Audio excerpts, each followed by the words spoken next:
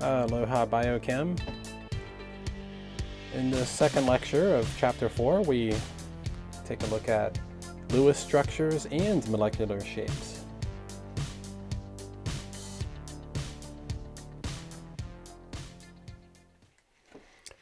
So we're continuing Chapter 4. This time we're going to look at some more complex covalent compounds and uh, take a look at their Lewis structures and also determine their molecular shapes. So this is my cat Hershey. Hershey is uh, being a nuisance and uh, I figure if I put her in the video she'll maybe pipe down a little bit. So I don't think she's too happy about being in the video. so let me put her down. Please don't claw me Hershey. All right, there you go. Okay. So what we'll do this time is we will take a look at several examples of covalent compounds, maybe 10 or 11 examples, um, and we will uh, get their Lewis structures and their molecular shapes and determine, you know, whether or not they are polar and then name them.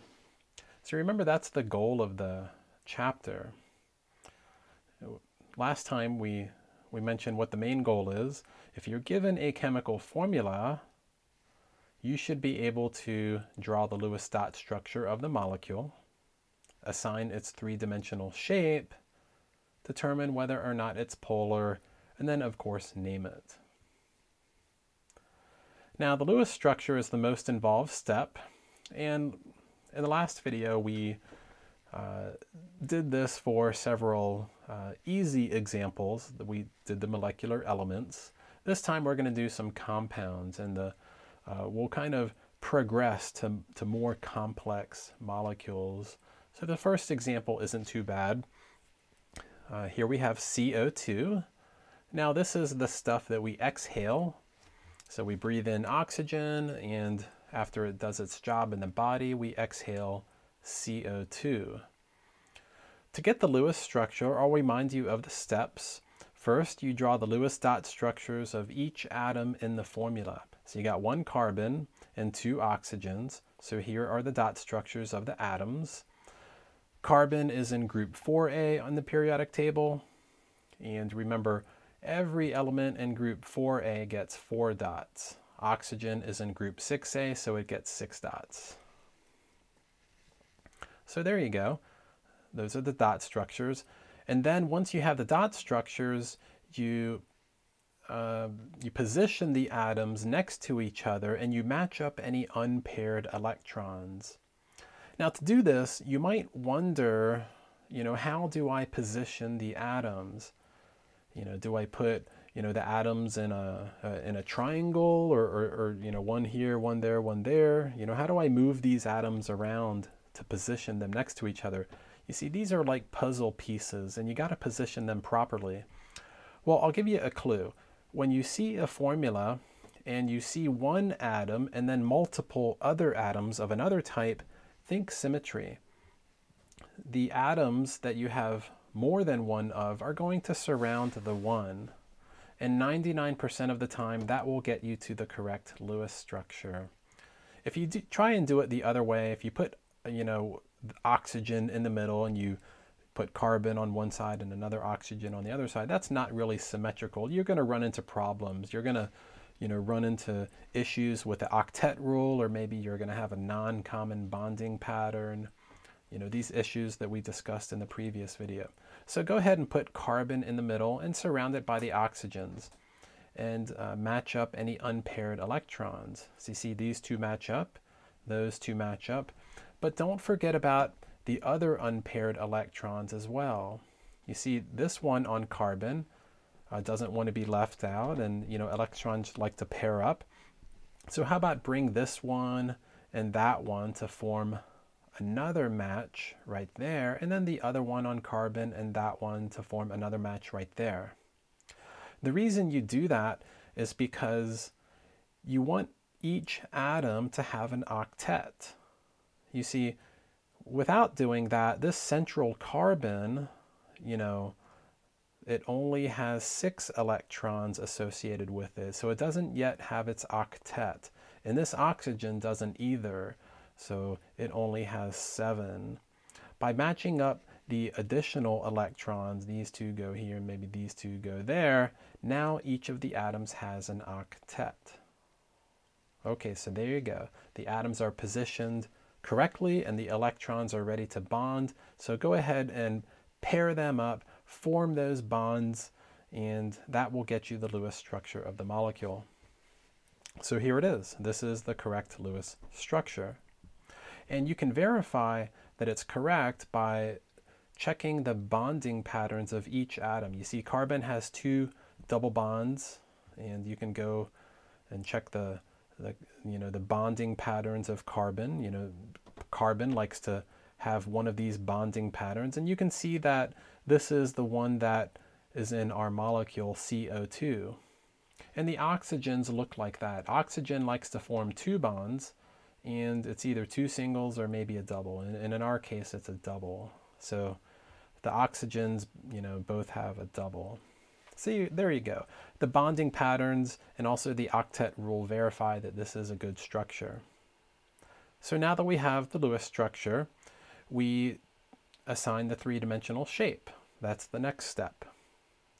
To get to the three-dimensional shape, uh, we will be using uh, table 4.2 in the textbook. And to use table 4.2, we look at the central atom and we count how many groups around the central atom. A group is either another atom that it's connected to or a lone pair on the central atom. So when I look at the central atom carbon, I count one, two atoms that it's connected to, and I see no lone pairs, okay? So that's two groups total around carbon. And then I go to the I go to the table 4.2 and then table 4.2 uh, uh, the, the first column is the number of groups. So I'm looking for two groups. Okay, there it is at the, at the beginning, two, three, or four, so two. And I'll just verify that yes, it's two atoms and no lone pairs. So that's two plus zero is two groups total. And then this table tells us the shape. The shape is linear. Okay, so carbon would be in the middle, and then one oxygen would be over here, and the other oxygen would be over there. So it's a linear molecule. The bond angle between the two oxygens is 180 degrees. You see, the, the Lewis structure that we just got, it doesn't usually tell us the molecular shape, it just tells us how the atoms are connected. But really, this Lewis structure just says that you have an oxygen connected to a carbon, and that carbon is also connected to another oxygen. But the, the molecule could be shaped like an L. You could have oxygen, carbon, oxygen. You know, it could be another angle. It could be a, you know, a smaller angle. But it turns out that it's actually linear. Okay, that table tells us that no, it's not an L-shaped molecule. It's not some other angle. It's an it's a perfect line. These three atoms all line up. Because anytime the central atom is surrounded by two groups, it is linear. And I'll show you a model of uh, carbon uh, or CO2.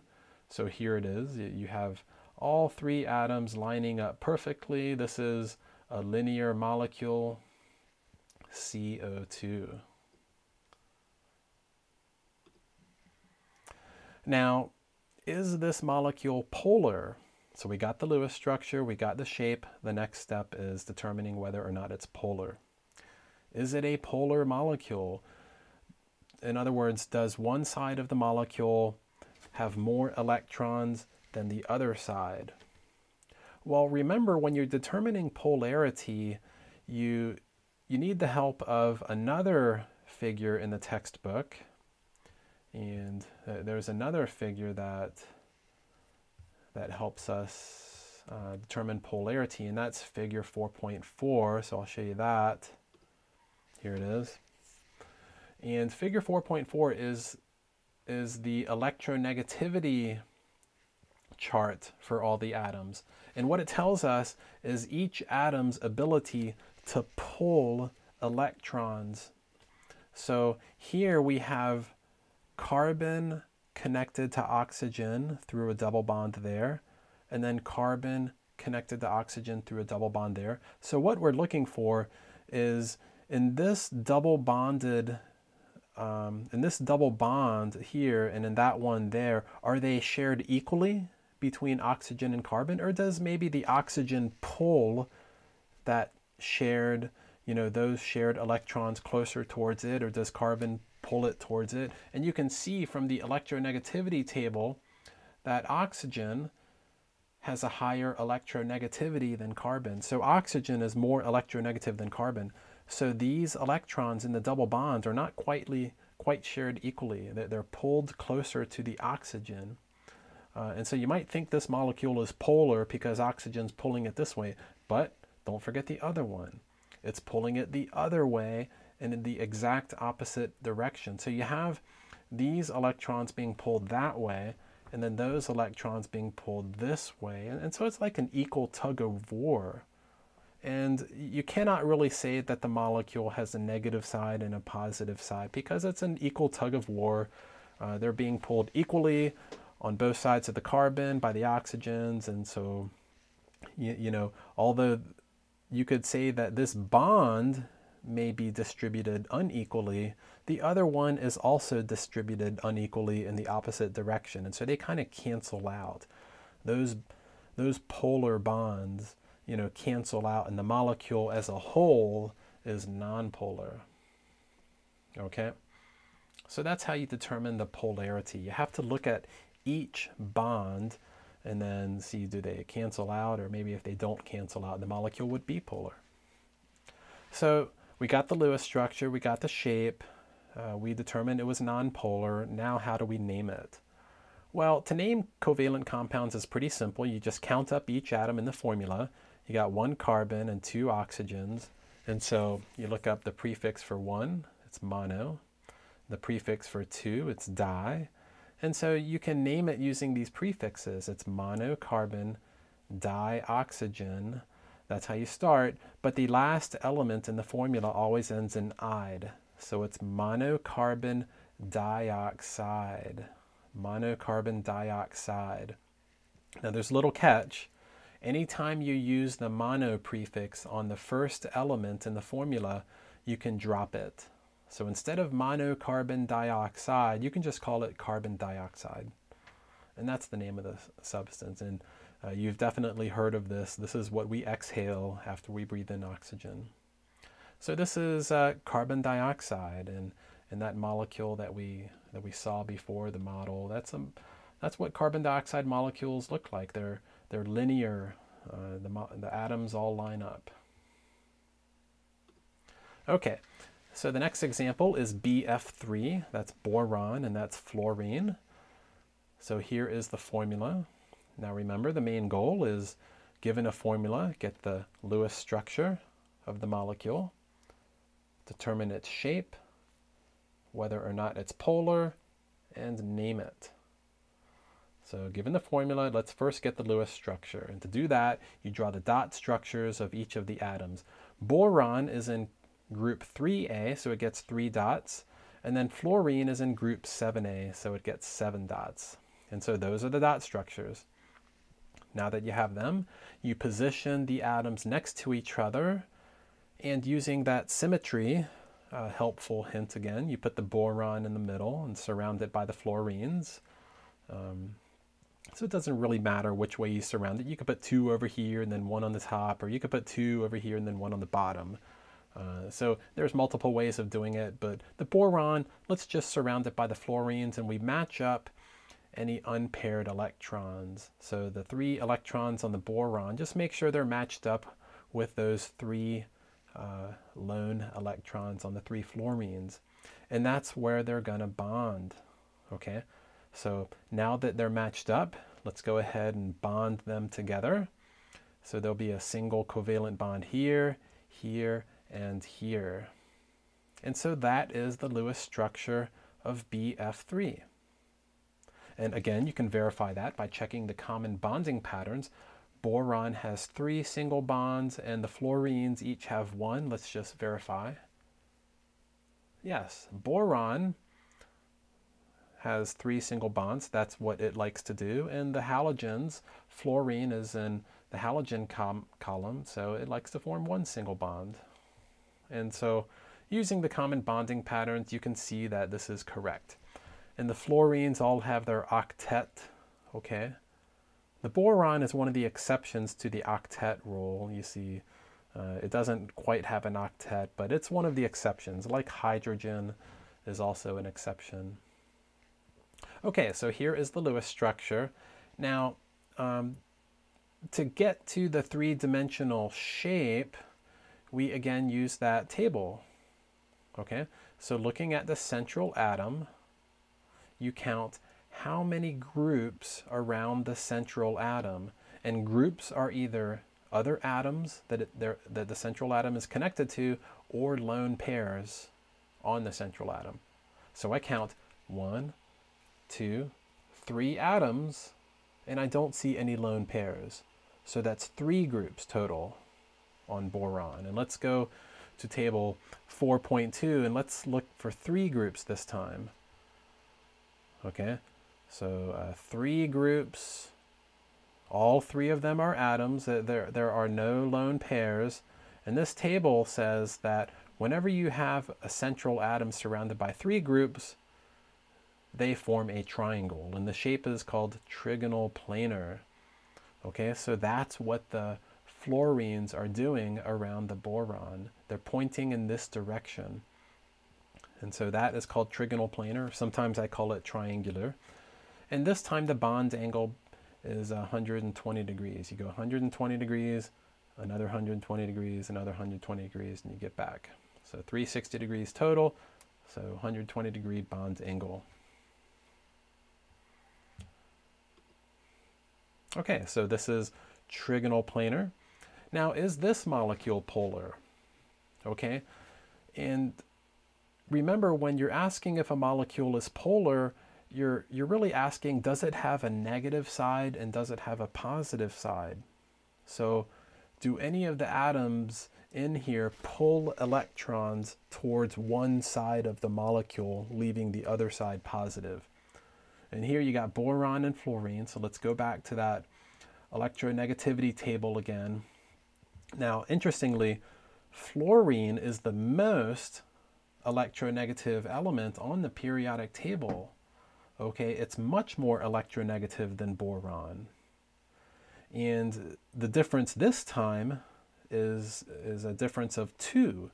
You know, boron is, you know, fluorine is has an electronegativity two greater than boron. And, and that's basically, if you go to table 4.3, that's telling you that, you know, when the electronegativity difference is greater than 1.9, uh, it should be ionic. And you're thinking, wow, maybe this is an ionic bond. Maybe it's not even covalent. Maybe it's ionic. But uh, here you have to remember that symmetry rule again. So uh, going back to the, you know, the, the molecule, uh, this fluorine might be pulling those two electrons that way, and this one is pulling those two electrons that way, and this one's pulling those two electrons that way. And now you have like a three-way tug of war. So these three fluorines are kind of pulling electrons away from the boron. They're, they're pulling those bonded electrons away from the boron. But really, there's not really a negative side of the molecule and a positive side. That's what polarity means. You got, you know, the negative pole and the positive pole. Here, it's kind of like it's negative all the way around, and it's not really a polar molecule. Maybe the middle of it might be positive, but you don't got a negative side and a positive side. That's a three-way tug of war, okay? So CO2 was a two-way tug of war. Now we see a three-way tug of war, and this is also nonpolar. All right, now to name this molecule, you got one boron, you got three fluorines. So mono and tri. You got monoboron trifluoride. Remember the last one gets the ide. And then anytime the first element has just one, you can drop the mono prefix. So it's just boron trifluoride. Okay. And, and I'll show you an example of a, of a boron trifluoride here. So here's its shape. It's a trigonal planar structure and uh, so pretty cool. You know, they all line up in a in a plane. So perfectly triangular. For our next um, three examples, uh, we will do uh, three that are discussed in your textbook, CH4, uh, NH3, and H2O. Now the first one is methane, the second one is ammonia, and the third one is, of course, water. Methane, ammonia, and water. Now, now your, your author shows us uh, you know, a picture of, of what some of the uses of these compounds are. So I'll, I'll point you to that picture real quick. This is in, in chapter four. So methane, this is a gas that's uh, released from decomposing organic matter, and, and your your author shows you an example where uh, you have a flooded rice paddy. So what happens is, you know, when farmers grow rice, uh, they flood the fields and, uh, you know, by flooding the fields, that water cuts off the oxygen to the microorganisms in the soil. And uh, that helps stimulate anaerobic fermentation. And, you know, one of the products of anaerobic fermentation is the production of methane gas. And so flooded rice paddies actually produce quite a bit of methane gas. You know, some people worry about it. And, uh, but you get a lot of methane gas coming out of rice paddies and and there you go. So your author, uh, you know, uh, also shows you, uh, you know, the, the Lewis structure and the and, and, the molecular shape here. Now ammonia, uh, the next the next example is uh, ammonia NH3, and um, ammonia is one of the you know ingredients of fertilizer. Okay, so fertilizer uses quite a bit of ammonia.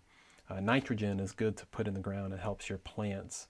But ammonia is also one of the chemicals that's in urine as well. So not too pleasant to smell. And the last one is, of course, water. And, and water is, is all over the place. So, you know, river of water. So this is a pretty cool picture in your textbook. All right, let's go through the structures of these three compounds.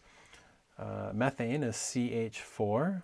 So you have one carbon and four hydrogens. You draw the Lewis dot structures of the atoms. Carbon gets four dots and the hydrogens get one. And uh, remind you, carbon is in group 4A, so it gets four dots. And hydrogen in group 1A gets one dot. So the periodic table tells you how to do the dot structure of the atoms. Now you position the atoms next to each other and, and you can see here what's going to happen because carbon has four single electrons and, and they are looking to match up with other single electrons. Well, well, that's perfect because you got four hydrogens ready to pair up. And so you put the hydrogens around the, uh, around the carbon and you match up the unpaired electrons and, and that's where the bonding is going to occur. And so do the bonds and you get four single covalent bonds this time and that's your Lewis structure. Now again, the Lewis structure doesn't tell you what the shape of the molecule is, it just tells you how the atoms are connected and what the bonding is. So carbon is simultaneously connected to the four hydrogens, but it is not a flat structure.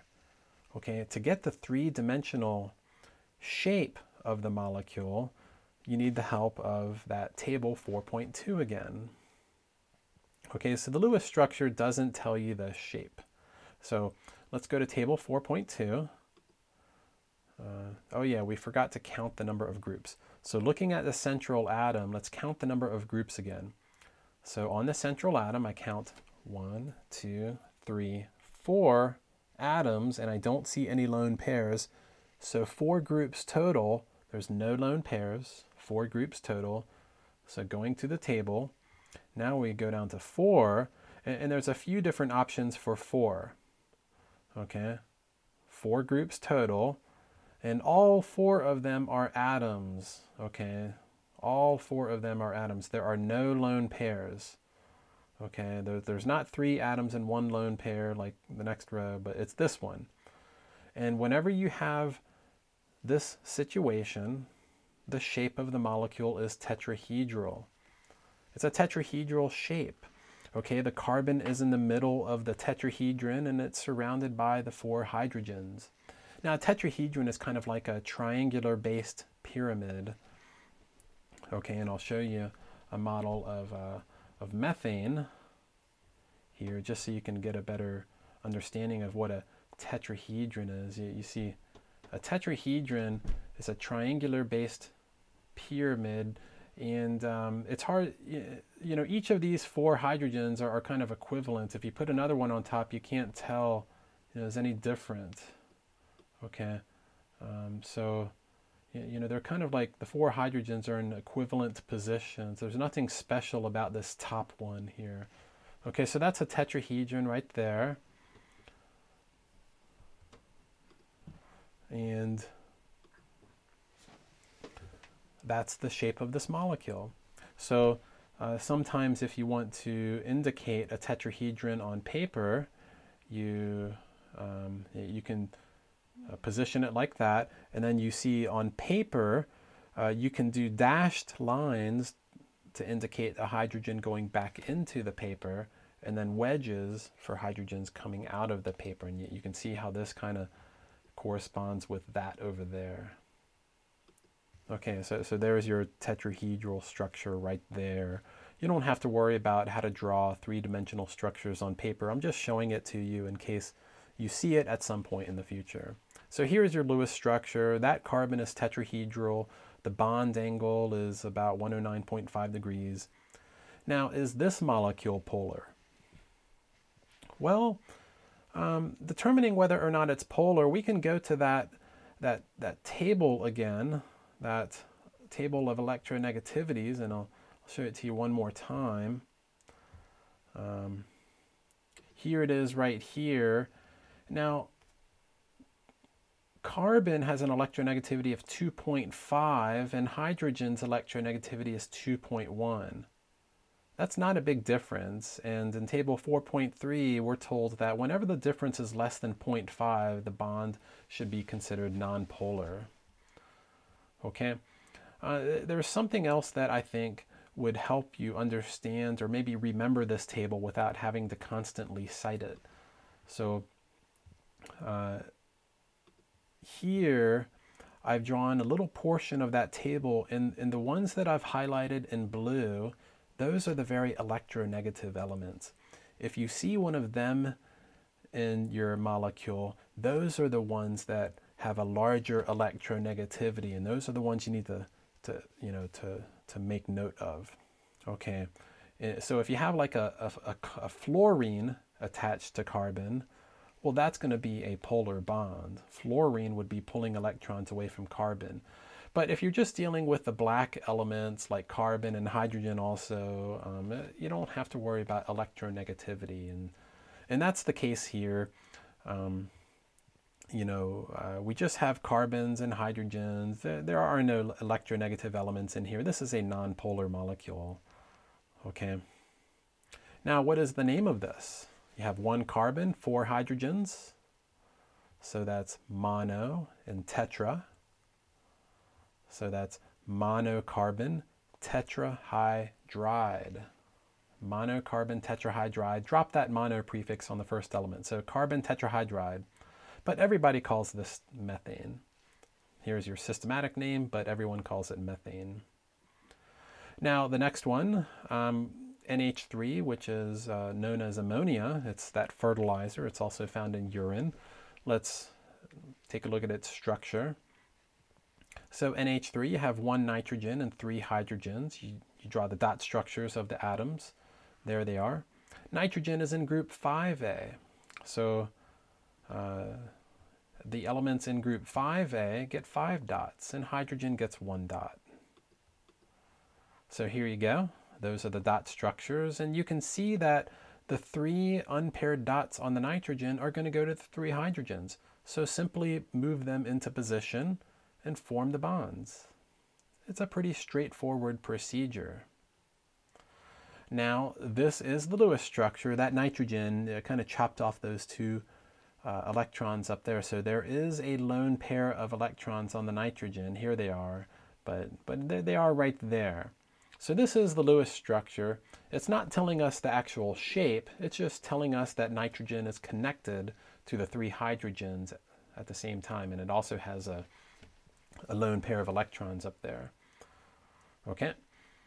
So uh, nitrogen is also more electronegative than the hydrogens are. so remember, nitrogen is one of those blue ones, and the blue atoms are more electronegative than the black ones, and they pull electrons away from the black ones. And so this nitrogen is kind of, uh, it's not really an equal sharing between nitrogen and hydrogen. It's pulling these electrons away from hydrogen, it's pulling those bonded electrons away from that hydrogen. It's pulling these bonded electrons away from that hydrogen. So I've drawn little blue arrows. These are representing the bond dipoles that those three polar bonds that the nitrogen is sharing. And uh, but before you determine whether or not the molecule is polar, you need to get to the actual molecular shape. So don't ask whether or not the molecule is polar before you know the shape of the molecule. So let's get the shape first. So there might be three polar bonds, but maybe they all cancel off, like what we saw happened with BF3. Okay, so let's just get the shape first before we determine the polarity of the molecule. So the central atom, I count one, two, three other atoms that it's attached to, and there is a fourth lone pair. So there's four groups total, three are atoms and one lone pair. So four total, three atoms, one lone pair. Let's go back to that uh, table 4.2 again. So we're going to four groups this time. This time it's three atoms, one lone pair. And this table tells us that the shape is called trigonal pyramidal. Okay, what a trigonal pyramidal shape is, is it's just like tetrahedral, but imagine removing maybe one of these atoms, maybe the top one, and putting the lone pair there. And what you're left with is kind of like a little, you know, squashed, you know, triangular pyramid on the bottom. Okay, and I'll show you uh, a model of, of uh, NH3. So it's trigonal pyramidal. That's the name of the the, the structure. So here's a model of it. You know, I've tried, tried to show you with uh, wedges and dashes right there, but maybe you'll get a better picture of it here. So there it is. You got your nitrogen and, you know, um, so you see it's not quite flat like the, the BF3 was. You see it's sort of like, uh, you know, trigonal pyramidal. That's what you call it. And so this nitrogen right here, um, it's pulling those bonded electrons away from the hydrogen. So, so, so it's pulling these electrons in that direction. It's pulling those electrons in that direction and the other one in that direction. And so the nitrogen is kind of like, it's got a negative, you know, it's got more electrons on this side of the molecule, leaving less electrons on that side. And so this time we see this is an actual polar molecule. Those three bond dipoles, when you look at the actual three-dimensional shape, they don't cancel off. So the nitrogen is kind of sucking electrons. Let's sort of position this like it is in the in the picture. Um, it's hard to rotate this thing. Okay, there you go. So you got one kind of going back into the paper, the other one coming out at you, that's the wedge, and then one going off to the right. So that looks kind of like that right there. All right that looks kind of like that. And, so the top of the molecule where the nitrogen is, it's kind of sucking electrons up to the top. This would be the negative part of the molecule and the where the hydrogens are on the bottom would be the positive end. So this is a polar molecule. You got your poles, your negative pole, your positive pole. All right. Now, the reason polarity is important, we'll see in uh, in a later chapter. I think uh, once we get to chapter seven, that when you have more than one molecule, what actually happens is the molecules like to stack together and align their polar characters. So the positive side of the one on top will match up with the negative side of the one next to it. And you get kind of this chain, you know, chain interaction. And these are called in intermolecular interactions. And intermolecular interactions help explain why uh, molecules like to stick together in the liquid phase and in the solid phase. That's the glue. That's the mysterious glue that holds them together. It, has to do with their polar character. So NH3 is a trigonal pyramidal molecule. It's its Lewis structure, that's its shape, and it is polar. And the name of this would simply be, you know, mononitrogen trihydride you can drop the mono prefix. So nitrogen trihydride, but everybody calls it ammonia. Now, we've all seen H2O, so this is water. Its Lewis structure is pretty simple. You got two hydrogens, one oxygen. You know, the hydrogens have one dot, oxygen gets six. And that's perfect because the oxygen has two unpaired electrons to match up with the two hydrogens. So thinking symmetry, you put oxygen in the middle, and then uh, the unpaireds are matched up and you can make the bonds right there and here's the Lewis structure and you can verify this if you want. Uh, oxygen has its common bonding pattern. Uh, you know uh, this time it has the two singles. So that's one of the bonding patterns for oxygen and the hydrogens look like that. So that's a good structure. Now what is the shape? So uh, the oxygen uh, has one, two atoms, and then a lone pair up here and a lone pair down there. That's four groups total, okay? Two atoms and then two lone pairs makes four total. So let's go to that table. All right, so four groups, but two of them are atoms and two of them are lone pairs. And this table tells us that that corresponds to a bent structure. And all a bent structure is, is if you imagine the, the you know, four groups, but this time you have two of these positions are lone pairs. So maybe that one here and maybe that one there. What you would be left with is a bent structure. And that's what water is, a bent structure. The other two positions are occupied by lone pairs now. So the bond angle is about the same, you know, 109.5. So that's how you use that table. So water's Lewis structure is that, but most people draw it like a little V, you know, so there it is. And, and oxygen is much more electronegative than hydrogen. It, it's, uh, in fact, the second most electronegative element on the periodic table. Um, so, you know, I'll remind you one more time that uh, you know, the, the electronegativity table, uh, oxygen is uh, got electronegativity of 3.5. Fluorine is the most, but oxygen is 3.5, and that's much greater than hydrogen's 2.1. So that falls well within the, the, the polar covalent range. The difference between 2.1 and 3.5 is 1.4. Okay, so that's well within the polar covalent range. Okay, so the, the bonds are polar covalent bonds here. And uh, going back to water, uh, yes, the oxygen is pulling these bonded electrons towards it in that direction. It's pulling those two bonded electrons towards it in that direction. And so this side of the molecule is actually negative and the other side is positive. We put this partial sign here. So it's not quite like a full-on negative ion you know. Um, it's not quite a full negative ion. It's just got like a partially negative character on the one side and a partially positive character on the other side. That's what this, you know, this symbol represents, partially positive and negative. Okay, so there is the, the Lewis structure, which also has the three-dimensional shape in there. Okay, and you can see the polar character. Now, uh, so we say that this is bent, it is polar. In the name of the molecule this time, you got two hydrogens, one oxygen. So dihydrogen monoxide. You don't drop the mono prefix if it's on the last element. You only drop it when it's on the first element in the formula. So dihydrogen monoxide. Um, we, we know it as water, of course.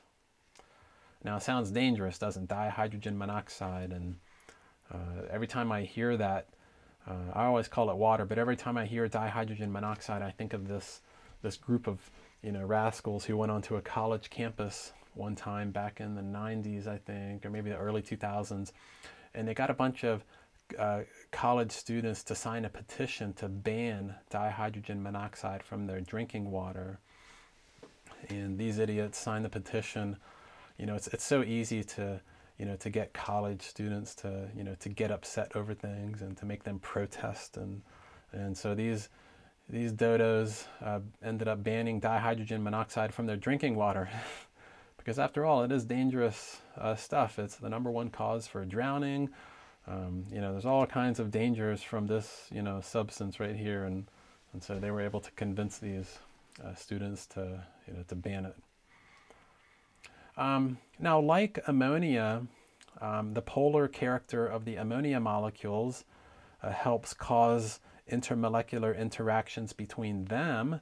Water does as well. You see, water is a polar molecule, a very polar molecule. And when you have multiple water molecules, they, they like to stack together with the negative side interacting with the positive side of its neighbor. And so water has these strong intermolecular interactions as well, which we'll discuss when we get to chapter 7. All right. Um, now, um, uh, let's go through a few more examples. Uh, the next one is, uh, we'll do try to do them a little bit more quickly now, since, since we're getting used to the, the procedure. Um, okay, CH2O. CH2O. Now, you have one carbon, two hydrogens, and an oxygen. The carbon has four dots, the hydrogens have one, and the oxygen has six. So here are the atoms. These are the puzzle pieces. And, and how do you fit them together? Well, it turns out that the arrangement is going to look like this. You got the carbon surrounded by all of the other ones. If you tried to flip carbon and oxygen's position, you put oxygen in the middle, surrounded by carbon and the hydrogen, you would run into trouble. You can try that, but you will run into trouble. You'll see that you won't be able to satisfy the octet rule and you won't have common bonding patterns. So put it like this, okay? Carbon likes to be central, all right? Um, and uh, here you go. So you, see that you're to have these two form a bond, those two form a bond, those two form a bond. But what about this one and that one? Well, they're to come together and be a double bond, okay? And when, when you form the bonds, uh, you'll end up with that right there. And you see I've kind of jumped straight to the, the actual shape of the molecule. So this is a trigonal planar molecule because carbon is surrounded by three atoms and zero lone pairs. Three atoms, zero lone pairs, that's trigonal planar structure. Okay, now if you're wondering if the molecule is polar, well, you know, the only atom that you have to look out for is the oxygen. The carbons and hydrogens, remember those are the, uh, they're not very electronegative. Those are the black ones, but the oxygen is blue. Okay, this is a very electronegative atom, and it's going to be pulling electrons away from the carbon. Okay, so this is a polar bond. These double bonded electrons are being kind of pulled closer to the oxygen. So the molecule is polar in this case.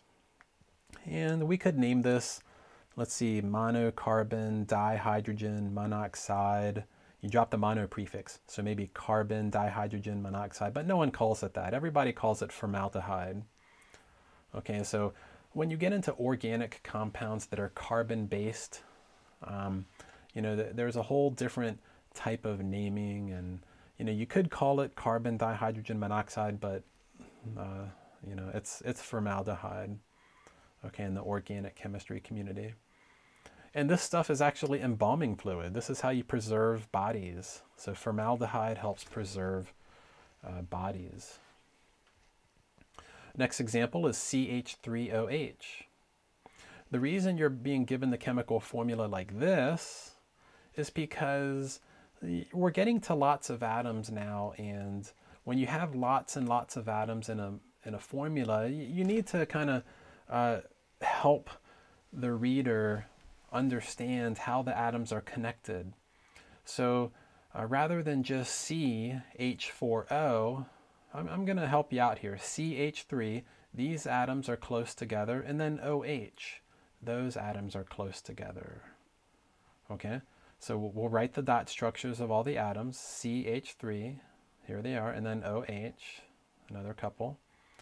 And then if you assemble them properly, they're going to look like this. Okay?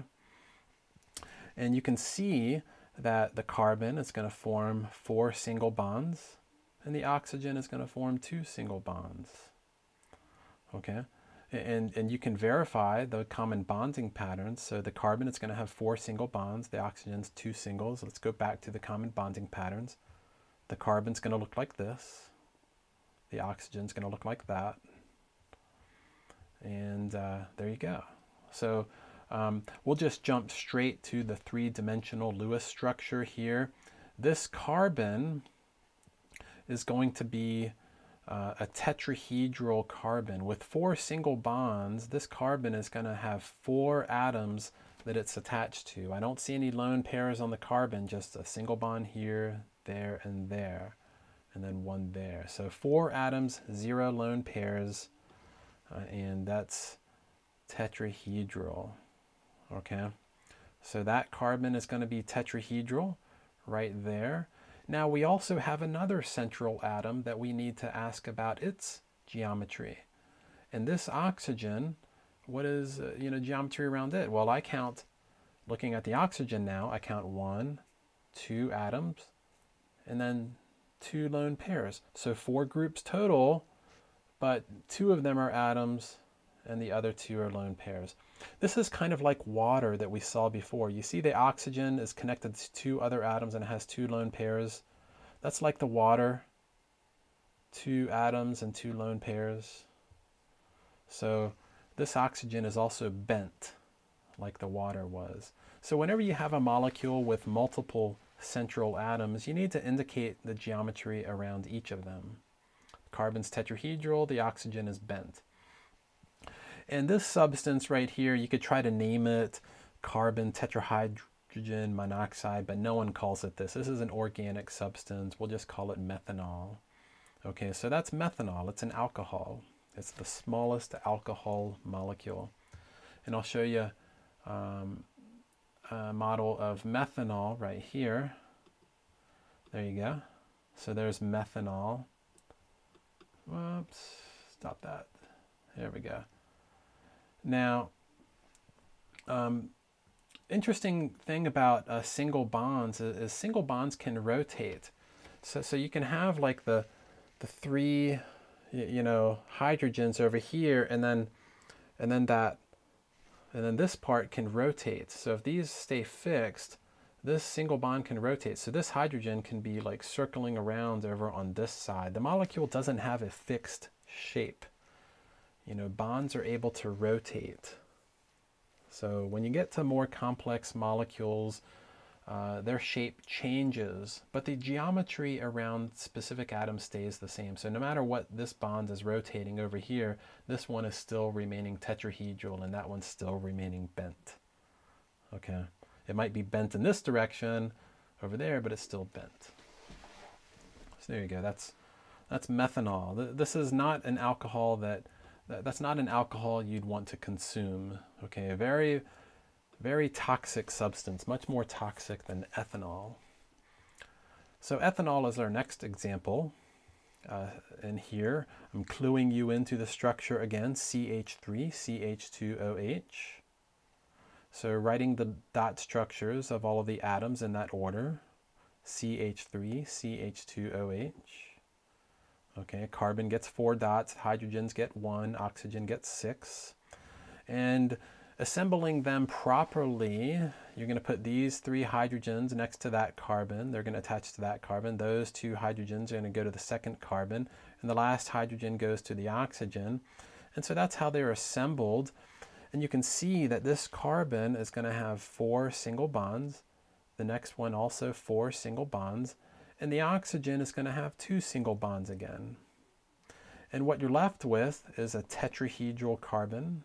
You know, this carbon is connected to one, two, three, four atoms. I don't see any lone pairs, so that's tetrahedral.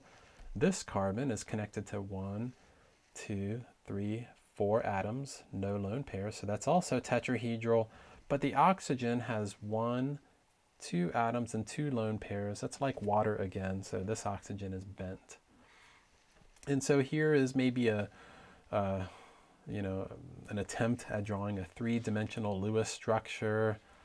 And I'll show you uh, quickly uh, a model of ethanol. So here's ethanol. It looks kind of like a dog or something. You got your dog's head and nose. So anyway, you see this one is tetrahedral, that's one tetrahedral, and that one's bent. And of course, the single bonds rotate, and, and so this molecule is constantly changing shape. But um, even if it changes shape, the, this will still be tetrahedral and tetrahedral, and that will still be bent. Okay, so that's ethanol. This is the alcohol that uh, people like to consume. Okay, much less toxic than methanol.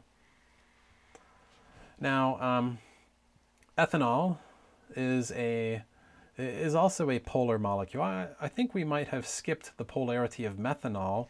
Methanol is polar because it has the oxygen. The oxygen is pulling electrons away from the carbon and the hydrogen. And ethanol is doing that too. You, you remember um, when you're when you're determining the polarity of a molecule, uh, you're just looking for really these four elements. And, and oxygen is the big one, okay? Look for oxygen and nitrogen. Remember, or, you know, in biochemistry, we have hydrogen, carbon, oxygen, nitrogen. Those are the big four. Okay, hydrogen and carbon are not electronegative, but nitrogen and oxygen are.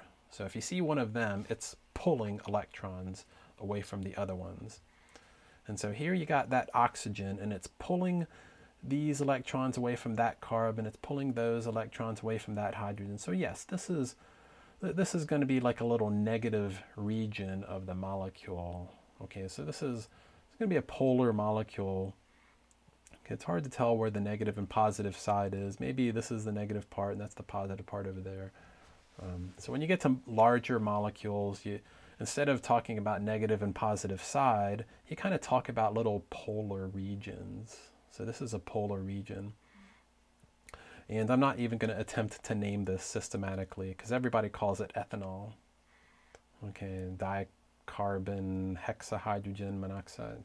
No way. Ethanol.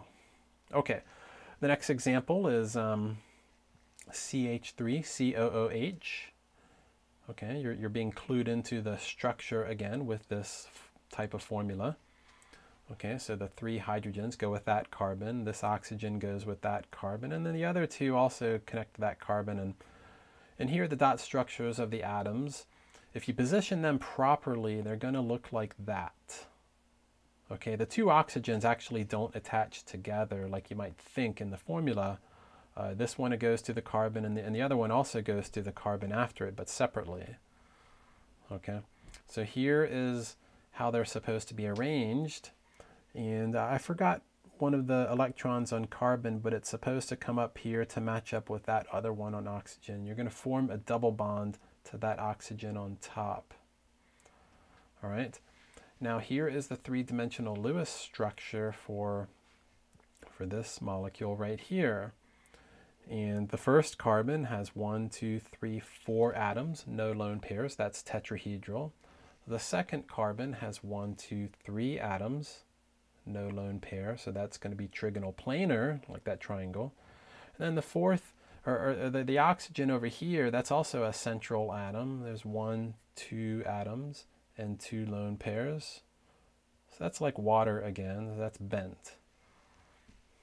Now this is uh, definitely a polar substance. You got a couple oxygens in there that are pulling the electrons away from the carbon, and this one's pulling electrons away from that carbon and that hydrogen.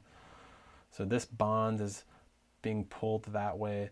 Uh, this bond is being pulled that way. This one's being pulled that way. And, and so you got three polar covalent bonds and they're not canceled off. I don't see like any symmetry here. So this is a polar molecule. This is a very polar region of the molecule. And this is called acetic acid. Acetic acid is what you have in vinegar. Okay. So acetic acid is uh, in vinegar. It's also one of the products of uh, fermentation in biochemistry. And I'll show you a model, uh, a model of acetic acid. I think I got one here. So there you go. So acetic acid, you see that CH3, that tetrahedral carbon, that CO, and that OH. See tetrahedral, trigonal planar, and then bent. So acetic acid. Of course, the molecule is constantly, you know, the bonds are being rotated, so, so the, there's no fixed shape overall, but you can talk about the shapes of the three central atoms. All right, we're getting towards the end. Um, here is a big one, NH2, CH2, COOH. Now this is an amino acid right here. This is one of the 20 amino acids that are important in biochemistry. One, you know, uh, the one of the ones that make up proteins. And this is the formula for glycine. Okay, this is glycine, the smallest amino acid out there. There are many others, histidine, phenylalanine, you know, you got uh, 20, maybe 22 of them or something, 20 common ones. Okay, to get the Lewis structure of this is pretty involved, and I'm to, uh, you know, kind of do it quickly. Uh, so you put the dot structures of all the atoms and position them next to each other the way they're supposed to go. So I'm kind of helping you out here. So here's the dot structures of all of the atoms, and those atoms are positioned how they're supposed to connect together. And after we connect them together properly, it'll look like that. Now you can verify this is a correct structure by looking at any one atom and verifying that it's in its common bonding pattern. So this nitrogen has a lone pair and three single bonds. And, and going back, uh, you can see uh, nitrogen you know, uh, one of its bonding patterns is a lone pair and three single bonds. Okay, and uh, you can do that for the rest of the um, atoms in there to Carbon, one of its bonding patterns is four single bonds. Another one is a double and two singles. And oxygen can have two lone pairs and two singles, like water. And so this is correct. Everybody's in their common bonding pattern. Um, all of the atoms except for hydrogen have octets. So this is a good Lewis structure. Now you got four central atoms, the nitrogen, the carbon, the carbon, and the oxygen. This one, you have one, two, three atoms in one lone pair. That's four groups total, but one of them is a lone pair, so that's going to be your trigonal pyramidal nitrogen. So this right here is, is kind of like that ammonia that we saw before. Okay, three single bonds, one lone pair. Let's go back to that uh, NH3. So you see three single bonds, one lone pair. That's trigonal pyramidal. Trigonal pyramidal nitrogen. And this carbon is tetrahedral. Anytime carbon has four single bonds, it's attached to four atoms, it's tetrahedral. This carbon is trigonal planar, like that formaldehyde. Okay, trigonal planar. Let's go back to formaldehyde. There it is. And uh, so that's trigonal planar too. And this oxygen is bent. So this looks like water. You know, you have H over here, and instead of H over there, that's the rest of the molecule. But, you know, uh, the oxygen with two single bonds is uh, bent. Now, this molecule definitely is polar. You have three very electronegative atoms here. You know, remind you that uh, the nitrogen and oxygen are both electronegative. And so they're, they're pulling electrons. So this nitrogen is pulling electrons away from everybody that it's connected to. So this bond, that bond, that bond, it's all being pulled towards the nitrogen, up towards that trigonal pyramidal nitrogen. And then uh, this oxygen is pulling them away from that carbon.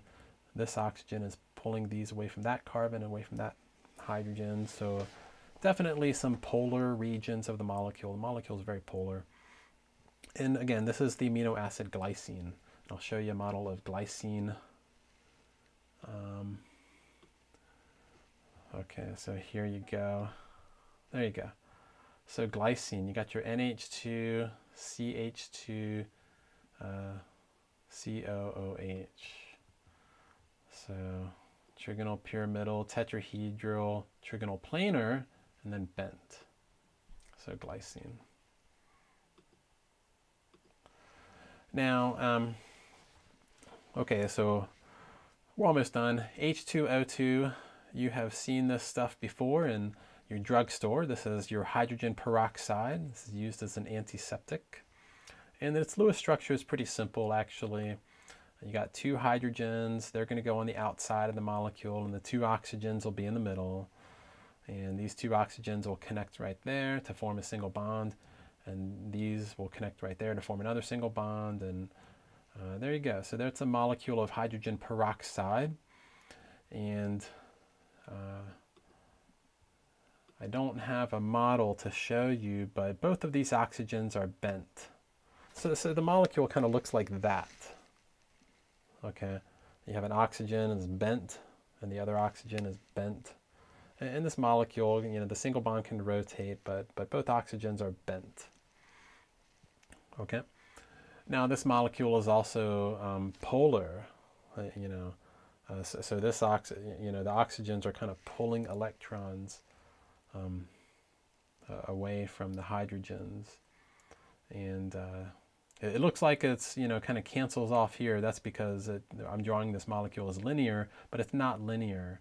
It's a uh, you know, if I were to draw it correctly, the hydrogen would go up in this direction, be bent and the other hydrogen would go up in that direction. It would also be bent. So it'd be asymmetric, it'd be a polar molecule. And you could call this dihydrogen dioxide if you want, but no one does that. Uh, you know, again, many molecules have are, are known by their common names. Hydrogen peroxide. Okay, so our last example, you thought you were done. Our last example is uh, uh, in the textbook, it was listed as the the, the first um, the first covalent compound that we saw in the chapter. All right, acetaminophen. Acetaminophen. That's a drug, and uh, this drug has uh, an interesting. Um, let's see, an interesting structure. Where is the structure for that? Um, here we go. So extra strength Tylenol, the active ingredient is acetaminophen, and here is the formula for acetaminophen. It's C8H9NO2. Now imagine if you were asked to draw the Lewis structure for that, and you were not clued into how the atoms are connected. That would be impossible. There would be uh, there would be probably many different ways to do it. And in the next uh, video, we'll talk about isomers. So when you have just a chemical formula like that, you might, uh, you know, there might be multiple different structures that correspond to that. But, but here's one of them. And, and this right here, this arrangement of atoms um, is, uh, is the molecule acetaminophen.